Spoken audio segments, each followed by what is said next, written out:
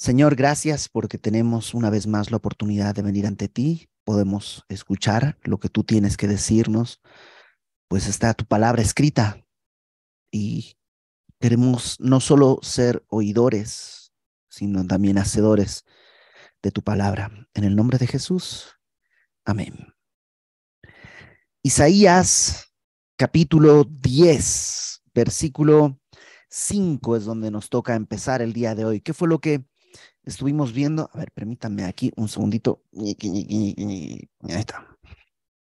Eh, la semana pasada vimos este cántico que le llaman el canto de la mano extendida, ¿no? que a diferencia de otras veces que se habla la mano extendida de Dios, en este caso no habla de una mano extendida para rescatar, sino una mano de juicio. Y, y Dios está hablando que va a traer este juicio sobre Israel, Y va a traer este juicio a través de, en primer caso, la nación de Asiria, y más adelante, pues la nación de Babilonia sobre Judá. Eh, y, es, lógico como pensar en esto que, ya vimos cuando estudiamos Habacuc. ¿Puede Dios usar algo perverso para hacer algo bueno?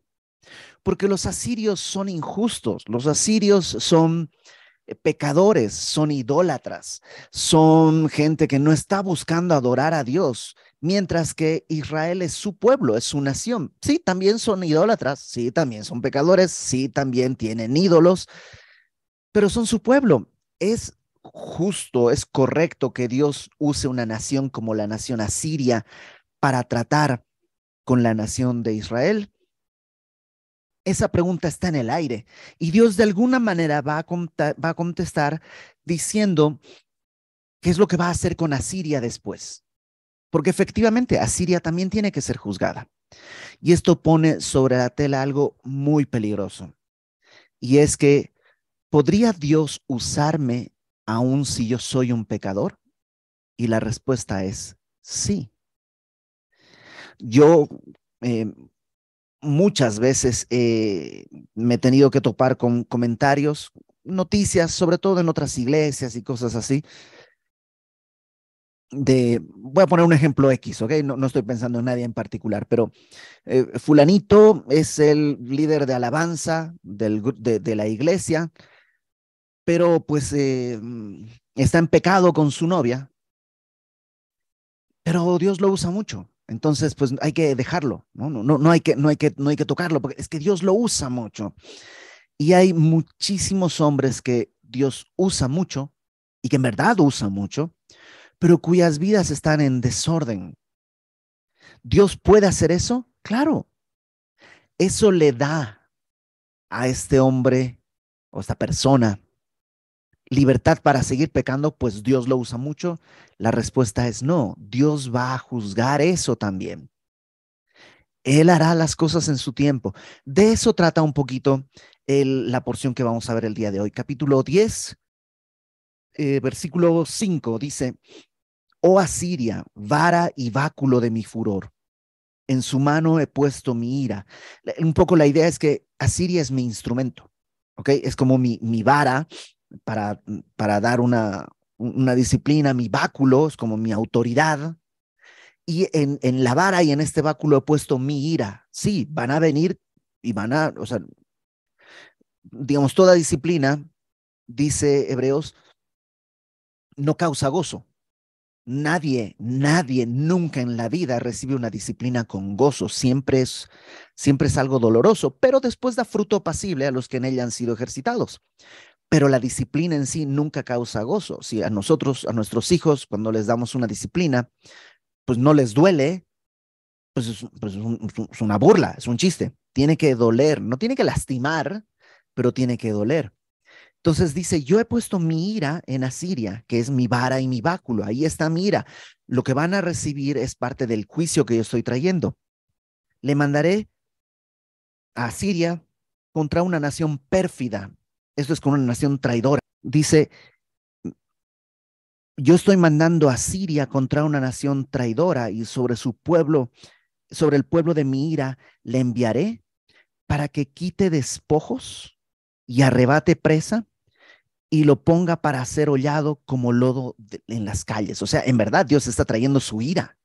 O sea, lo que van a hacer, dice, es quitar despojos. Los despojos se toman de una ciudad que ha sido derrotada, una ciudad que ha sido ya conquistada. Los despojos son estas, em, lo que queda, ¿no? Entonces van a tomar despojos, eh, van a arrebatar presa como un, como un, tigre que agarra y, y, se lleva un, un, venado y se lo lleva a, su, a, su, a un árbol, una cosa así. Eh, para ser, dice, pisoteado, es, hollado es eso, pisoteado como lodo de las calles. Eso es lo que Dios está haciendo a través de Asiria como juicio a su nación. Aunque, verso 7, Él no lo pensará así. O sea, los asirios no están pensando, oh, Dios me quiere usar. No, no, ellos que piensan, ellos piensan que van a ir a ganar más territorio, más riquezas, em, eso, más poder, pero ellos no saben, no piensan que Dios les está usando. Él no pensará así, ni su corazón lo imaginará de esa manera, sino que su pensamiento será desarraigar y cortar naciones, no pocas. O sea, lo que ellos quieren es más territorio, em, em, más, em, eso, más tierras, más dinero, más ganancia. Y Dios puede usar gente así. O sea, Dios puede disciplinarnos con gente que no está buscando agradar a Dios. Nomás está buscando hacer su propia voluntad y su propio deseo y tener más, más dinero, más lo que sea pero Dios puede usarlo para disciplinar nuestra vida. Verso 8. Porque Él dice, fíjate lo que dice en su corazón Asiria, mis príncipes no son todos reyes, o sea, mis príncipes habla de mis autoridades, son todos reyes, acá en Asiria somos todos reyes, somos nacidos para gobernar todas las naciones. No es Calno como Carquemis, Hamad como Arfat, Samaria como Damasco, está haciendo eh, mm, menciones de, lugares que ya ha conquistado. Y es un poco como Calno, como Carquemis. Carquemis era una ciudad importante que conquistaron. Y dice, pues sí, conquisté Calno y conquisté Carquemis. Conquisté eh, Hamad y conquisté Arfat. Con, y Samaria es el reino del norte, ¿no? lo conquisté como Siria, como Damasco. Como halló mi mano los reinos de los ídolos, siendo sus imágenes más que las de, Jerusalén y de Samaria, como hice a Samaria y a sus ídolos, no haré también así a Jerusalén y a sus ídolos. Claro, he conquistado todo. ¿Quién me ha detenido? Si tú recuerdas, eso mismo es lo que el Rapsaces va a gritar desde el muro en, el capítulo 36 lo veremos, pero lo estudiamos en Reyes, cuando Asiria llega hasta la puerta de Jerusalén y desde el muro el Rapsaces empieza a gritar, no, ¿dónde están los dioses de Iba, de Sefarbaim? No, ha sido, no han sido ellos puestos como nada, también Jerusalén será entregada y como que empieza a hablar, eso está en Isaías 36, lo vamos a volver a topar. Y eso está en su corazón, o sea, ¿quién se ha opuesto a mí? ¿Quién se ha opuesto a mí? Y en su orgullo ellos están por encima de todos. Y creo que es peligroso el orgullo en la vida de cada uno de nosotros. Y lamentablemente cuando venimos a Cristo, el orgullo no siempre se va. El orgullo es algo que tenemos enraizado y que es duro y es, y, es difícil. Y a veces Dios trata con nuestro orgullo y siempre duele siempre duele, pero Dios no está buscando destruir a su pueblo, Dios está buscando disciplinarle. Y a veces lo, es injusto, como Asiria, si están tan mal, ¿cómo ellos van a ser los que van a disciplinarnos? Y a veces a ti y a mí dicen, ¿cómo me va a disciplinar este fulanito que es tan terrible o no, no sé, la circunstancia tan injusta? Pero mira lo que dice el Salmo 119, Salmo 119, verso 71. Salmo 119, 71 dice, bueno me es haber sido humillado para que aprenda tus estatutos. Mejor me es la ley de tu boca que millares de oro y plata. La idea es, esos estatutos que estoy aprendiendo, híjole, todos hemos bueno, no sé, igual y no todo el mundo es tan cochino como yo, pero yo tengo escenas en mi vida de orgullo que ni siquiera puedo contar en un tiempo de testimonio porque me avergüenzan mucho. Que están ahí, que yo, así Señor, que todas las personas que estaban alrededor involucradas, que todos los que me vieron se mueran para que nadie tenga testimonio del recuerdo de algo tan horrible. Este, pero a la vez, tú sabes que cuando has sido abatido en tu orgullo, has conocido algo de Dios que no podrías haberlo conocido de otra manera. Entonces, Asiria viene así, orgullosa.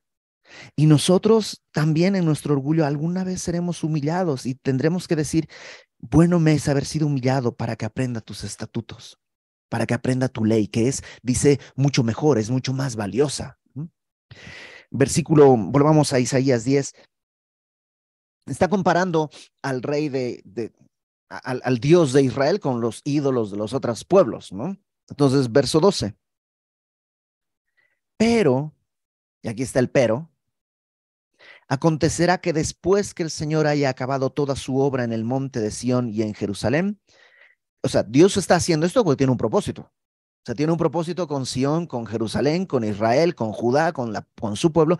Dios tiene un propósito. No está trayendo a Siria nomás porque sí. Y cuando Dios haya terminado, haya cumplido, cuando este juicio haya traído el resultado que Dios espera en el corazón de su pueblo, cuando haya acabado toda su obra en el monte de Sión y en Jerusalén, castigará el fruto de la soberbia del corazón del rey de Asiria y la gloria de la altivez de sus ojos. A lo mejor yo soy un tirano. Y a mis subempleados, ¿no? La gente que está por debajo de mí, la trato como, como basura. Yo, mi orgullo, mi soberbia, y los desprecio y los, ah, porque a mí se hace lo que yo digo y aquí las cosas son como yo quiero. Pero eso tiene un límite. Dios tal vez me está usando siendo impío, siendo terrible, para trabajar el corazón de la gente que está abajo. Pero cuando haya terminado de trabajar en su corazón, entonces va a venir el juicio sobre mi vida. Dios dice, cuando haya terminado en Sión, entonces voy a castigar lo que está en el corazón y en la altivez de sus ojos. Qué, qué curioso que el orgullo lo retrata en el corazón, que eso puede traducirse en la boca, porque la boca habla lo que está en el corazón.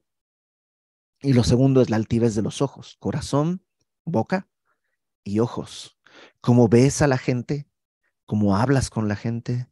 Eh, eso, revela lo que está en, nuestro corazón. Y dice ahí verso 13, porque dijo, eso está en su corazón, con el poder de mi mano, en, el hebreo original, en español no se puede poner así porque, porque sería horrible, ¿no? Pero en el hebreo original está todo lleno de yo. E, en, en, español no se traduce porque no se habla con ese yo. Nadie dice, hola, yo estoy bien, yo vine, yo ya llegué, yo, o sea, como que eh, suena terrible, se dice, estoy bien, ya llegué, y, como que emites los dios, pero en el texto original están estos dios. Entonces dice, con el poder de mi mano, digamos, yo lo he hecho, y con mi sabiduría, porque he sido prudente, quité yo quité los territorios de los pueblos, yo saqué sus tesoros, yo derribé como valientes a los que estaban sentados y halló mi mano como nido de las riquezas de los pueblos y como se recogen los huevos abandonados, así me apoderé yo de toda la tierra y no hubo quien moviese ala, ni abriese boca, ni graznase. O sea, yo he conquistado porque yo soy el más grande y el más poderoso y a mí nadie se me pone enfrente. Es más, lo que he conquistado es como quien va ante el, gallinero, nadie tiene miedo a las gallinas, ¿no? O espantas las gallinas, agarras los huevos y los recoges así. Así he tomado los tesoros. Eso es lo que está en el corazón de Asiria. Verso 15. Dios le hace unas preguntas interesantes. ¿Se gloriará el hacha contra el que con ella corta? Acuérdate que dijo, Asiria es mi instrumento. Pero el hacha no corta sola. El hacha requiere que el, leñador em, eh, tome el hacha y corte. Pero te imaginas el hacha diciendo, he cortado tantos árboles. Yo creo que voy a, en la próxima, voy a cortarle la mano al leñador para que vea que yo soy poderosa. No, el hacha no puede hacer nada. Así Asiria es solo un instrumento. ¿Se gloriará el hacha contra el que con ella corta? Se ensoberbecerá la sierra, el, el serrucho, ¿no? contra el que la mueve, como si el báculo levantase al que lo levanta. O sea, el, el, el, bastón lo levanta el que va a caminar con el bastón, no al revés. O sea, no es como que el, el, bastón usa al hombre, el hombre usa el bastón, el báculo. Como si levantase la vara al que no es leño. Por esto, el Señor Jehová de los ejércitos enviará debilidad sobre sus robustos y debajo de su gloria encenderá una hoguera como ardor de fuego. Por esta actitud de orgullo, dice Dios, va a llevar, enviar debilidad sobre los robustos, sobre los fuertes. Puede que haga referencia a lo que más adelante en Isaías 37 veremos. ¿Te acuerdas tú después de esta escena en el que el Rapsaces insulta a, a, Dios, insulta al pueblo y Ezequías llega, esas, llega esos mensajes, esas cartas las pone delante de Dios y, y, al final Dios envía un ángel y en una noche mata, creo que son 185 mil soldados. Algunos ven esa escena porque la palabra debilidad, de ahí del verso 16, también puede producirse, traducirse como enfermedad. Entonces podrá, dice, yo voy a enviar, cuando cumpla todo, voy a enviar esta debilidad, esta enfermedad sobre sus robustos, sobre la gente fuerte, su ejército, y debajo de su gloria se encenderá una hoguera como ardor de fuego, los voy a quemar. Y salieron corriendo y se fueron. Eh, versículo 17. Y la luz de Israel será por fuego y su santo por llama, que abrace y consuma en un día sus cardos y sus espinos. Si tú recuerdas, la semana pasada decíamos que cardo y espino puede ser también un símbolo del pecado. Y lo que está diciendo es esto, la luz de Israel será por fuego. O sea, su luz, Israel va a tener luz y va a brillar. ¿En quién? En Cristo. Cristo es la luz, realmente. Pero eso es lo que va a hacer que el santo será por llama, que, que va a consumir los cardos y espinos. La gloria de su bosque ten la idea que está poniendo como el ejército de Asiria es como un bosque, así lleno, robles fuertes, numerosos, así, es un bosque, pero es un bosque, un bosque que su campo fértil también va a ser consumido totalmente, se va a quemar. Alma y cuerpo y vendrá a ser como abanderado en derrota.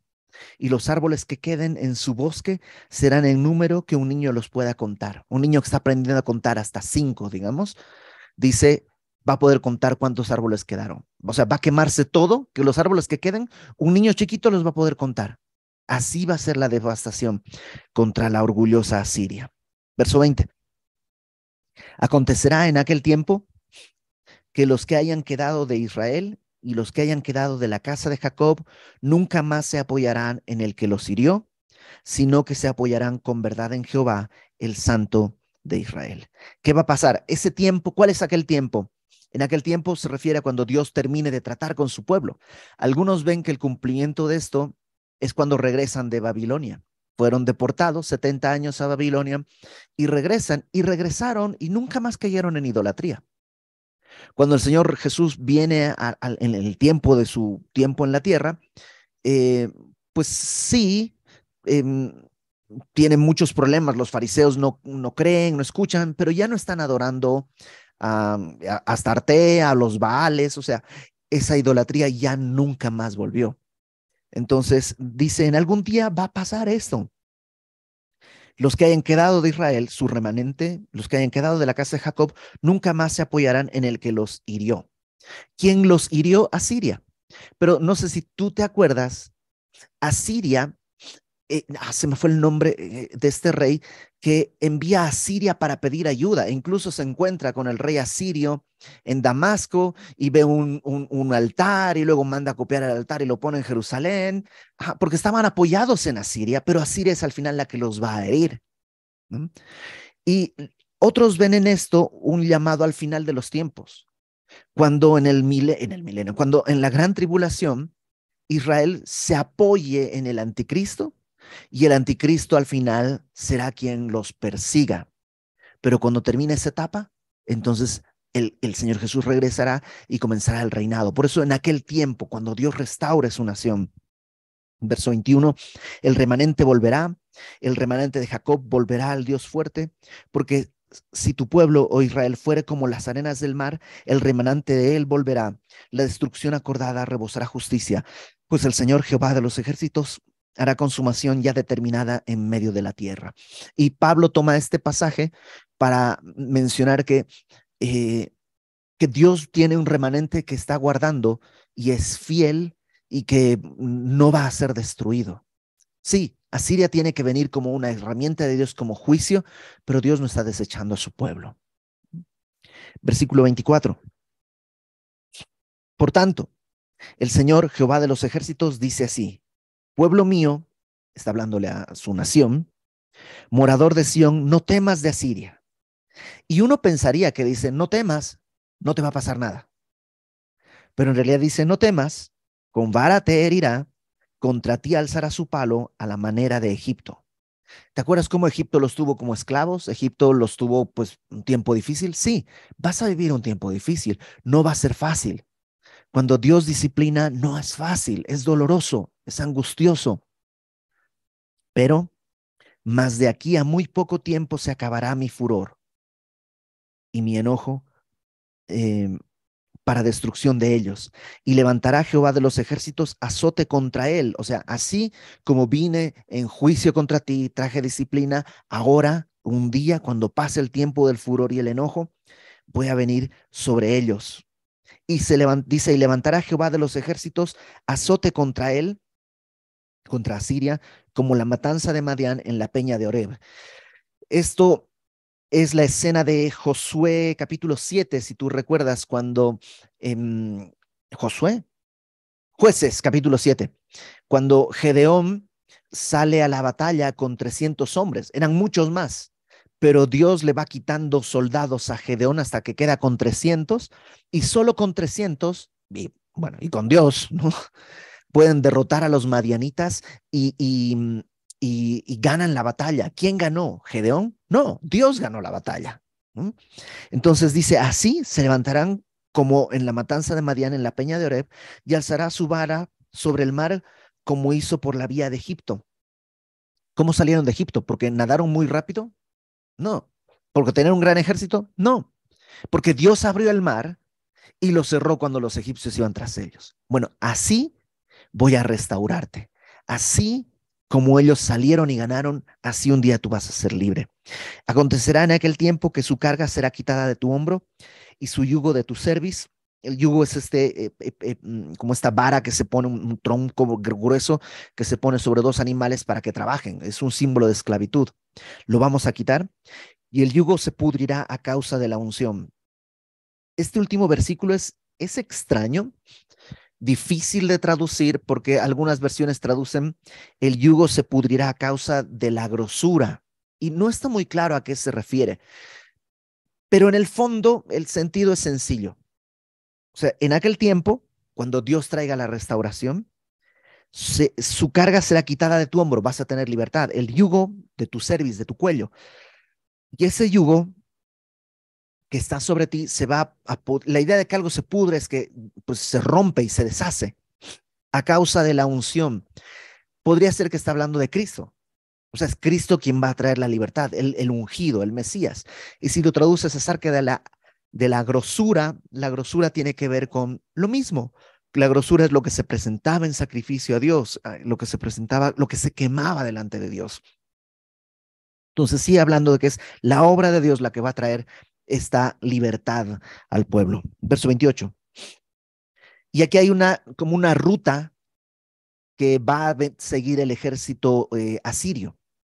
Vino hasta Ahat, pasó hasta Migrón, en Micmas contará su ejército, pasaron el vado, se alojaron en Jeba, Ramá tembló, Gabaa de Saúl huyó, grita en alta voz, hija de Galim, haz que se oiga hacia Lais, pobrecilla Anatot. Madmena se alborotó, los moradores de Jebim huyen. entonces va avanzando a Siria por todas estas zonas, conquistando y conquistando y produciendo terror. Aún vendrá día cuando reposará en Nob. Nob es, según lo que se cree, una población ya muy cerca de Jerusalén. Entonces ha venido avanzando, digamos, ¿no? Desde, desde Veracruz, ha entrado Veracruz, Puebla, eh, Ciudad de México, eh, Tepeji del Río, este, ya, ya, San Juan del Río, y, y, ya cuando llega ya lo más bonito, o sea, ya casi al llegar a Querétaro, ahí se para. Hasta ahí, hasta Nob. No llegó, porque no llegó a Jerusalén, llegó hasta Nob, que piensan algunos es de donde el Rapsaces va con este discurso a gritar y todo esto. ¿Se acuerdas que acamparon? Eran un montón. Ahí piensan que fue en Nob. Alzará su mano al monte de la hija de Sión, al collado de Jerusalén. O sea, va a levantar la mano, va a traer la amenaza. He aquí el Señor Jehová de los ejércitos desgajará el ramaje con violencia, y los árboles de gran altura serán cortados, y los altos serán humillados. Y cortará con hierro la espesura del bosque, y el Líbano caerá con estruendo. ¿Qué es esto? No está muy claro. Hay dos opciones. Una, que esté hablando de Asiria, va a llegar hasta Nob, y te acuerdas que los presentó como un bosque. Y Dios dice, va a desgajar ¿no? el ramaje, es como que va a romper las ramas, va a, dejar los, los árboles así pelados, y luego los árboles de gran altura van a ser cortados, van a ser destruidos, cortará con hierro la espesura del bosque y el Líbano, que es un monte eh, muy fértil, dice, caerá con estruendo. Y algunos piensan que es eso, Dios va a destruir a Asiria, que llega hasta la puerta, pero que ahí es destruido. Y lo que nos dice eh, el texto bíblico, lo leemos en Isaías 37, es que te acuerdas después, el rey regresa a su tierra y estando en su tierra, Adramelech, me parece que es su hijo con su hermano, lo matan y entonces ya cambia y acabó todo esto. Y después ya viene Babilonia, conquista Siria y el reino asirio pues ya se acabó ahí. ¿Podría ser eso? Sí, pero a la vez también podría referirse a Israel. Israel está orgulloso también.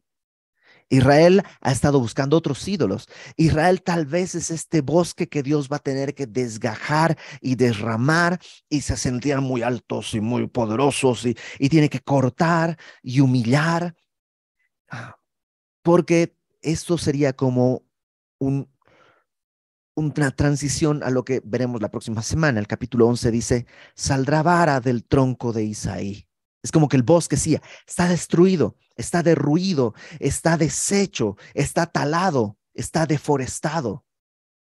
Pero en medio de esa devastación sale un vástago del tronco de Isaí, ¿no? Una ramita chiquitita que empieza. ¿Y quién va a ser esta ramita? Pues ya veremos la próxima semana el mensaje que hay, el mesiánico que está todo esto. Ya lo conoces porque se usa mucho en los textos y en tarjetas y todo. Pero eh, entonces, no sabemos si está hablando de Asiria o está hablando de, de la nación de, Israel, de Judá. Y creo que puede aplicar a los dos. Y que aunque me quedo, yo, yo creo que hay dos cosas fundamentales que tenemos que considerar de este texto. La primera, y las dos están relacionadas. La primera es que el orgullo es, híjole, e, el orgullo es terrible, destruye familias, lastima personas em, y a menudo las heridas, por mucho que haya perdón y gracia, siempre vas a ver la cicatriz ahí. A quienes lastimaste, siempre, siempre lo vas a ver. Por otro lado, este orgullo puede hacerte creer que eres muy especial. Y Dios nos usa. O sea, yo, yo sé que Dios te usa.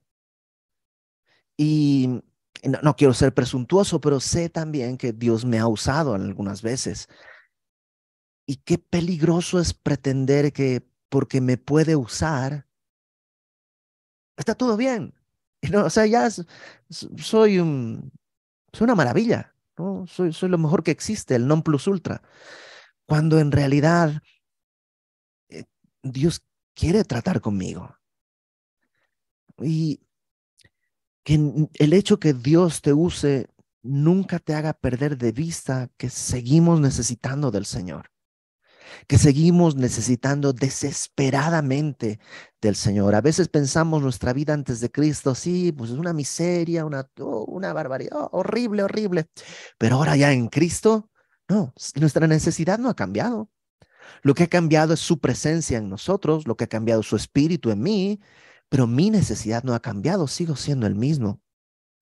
Que nuestro orgullo no nos lleve a perder eso. Y en segundo lugar, que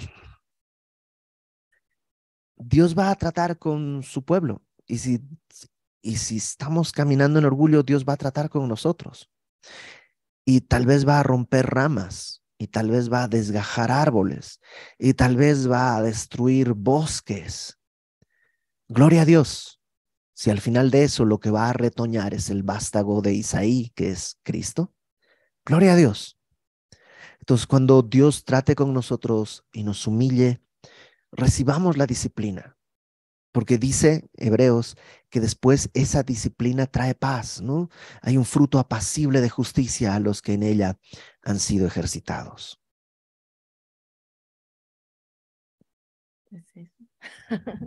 Eso mismo que él dijo, yo solo a lo mejor agregaría que este, no nos apoyemos en algún ídolo, ¿no? Porque el Señor es bueno. O sea, el Señor va, va a ayudarnos a quitar ese ídolo para que nos apoyemos en el Dios verdadero, ¿no? Y un ídolo puede ser desde nosotros mismos, ¿no? Por eso Proverbios dice, no, no te fíes, ¿no? De tu propia prudencia, ¿no? Podemos estar muy confiados en lo que somos, lo que hemos sido, lo que estudiamos, lo que, lo que no hemos sido, y eso se puede convertir en un ídolo, y la iglesia se puede convertir en un ídolo, este, tu familia, tus hijos, y, y no es que Dios es malo, ¿no? no Dios, Dios no decía, ahora te quito los hijos para que aprendas, no. Yo creo que Dios es muy bueno, extiende su gracia y su misericordia, pero eh, es celoso, ¿no? Desde su honra, eh, o sea, Él es el único Dios y necesitamos examinarnos en estas vacaciones en donde descansamos más, ¿no? Y, y, pedirle al Señor, ¿no? Que sea por el camino amable el que nos ayude Él, ¿no? A soltar ese ídolo, porque da miedo. Si es algo que estamos apoyando nuestra confianza, cuando lo sueltas es como el niño que aprende a nadar y le dice el papá, suéltate, ¿no? O sea, como que suéltate, ya flotas, ¿no? Y, y, pero no le quita el miedo a la persona, ¿no? Al niño. Entonces, el, pero el Señor ahí va a estar para nosotros, para ayudarnos a, a soltar eso que nos da la seguridad y, y, a confiar completamente en Él antes de que venga cualquier otra cosa, ¿no? Vamos a orar. Señor, gracias porque tú nos amas y gracias porque, pues, tú te encargas de revelarte y Perdónanos cuando hemos caminado en orgullo, cuando nos hemos visto eh, pues con, con más fuerza y más aplomo y más altos de lo que de lo que nuestra justicia podemos ser. Perdónanos, Señor. Y que podamos, como decía el salmista, decir que la humillación que tú nos has traído en verdad ha traído bendición a nuestra vida. Ayúdanos a vivir así para tu gloria, en humildad delante de ti, y, que esto pueda ser luz para las personas que nos siguen, que están detrás de nosotros. En el nombre de Jesús. Amén.